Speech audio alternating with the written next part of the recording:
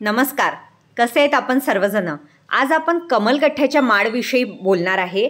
मी आज सेवानेही सांगणार आहे कमलगठ्ठ्याची माळ खूप जणांचं म्हणणं असतं की घरी आमच्याकडे असेल तर तुटून जाते. त्याला भोंगे लागतात म्हणजे कीटक.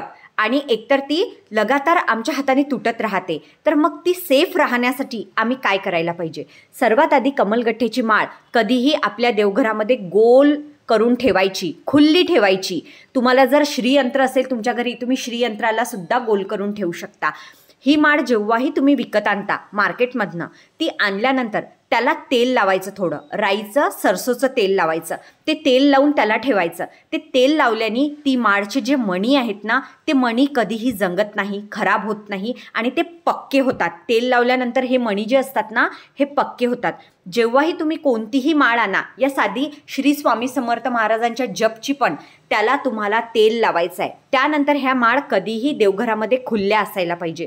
तुम्ही जेव्हा जप तप जे पण काही करता ते झाल्यानंतर अशा प्रकारे ठेवायची. मी तर त्याच्यावरती कमळाचं फूलसुद्धा ठेवते. आर्टिफिशियल आहे ओरिजिनल नाही आहे म्हणून कमलगठ्ठेची माळ कधीही खुल्ली असावी आणि याचा जप कधीही सायंकाळी या सकाळी ब्रह्ममुहूर्तावरच केला जातो. म्हणून ज्यांच्याहीकडे कमलगठ्ठ्याची माळ आहे त्यांनी काळजी घ्यायची की त्या माळीला तेल लावून ठेवा आणि होईल तेवढी ती खुल्ली ठेवा म्हणजे ती चांगली राहील.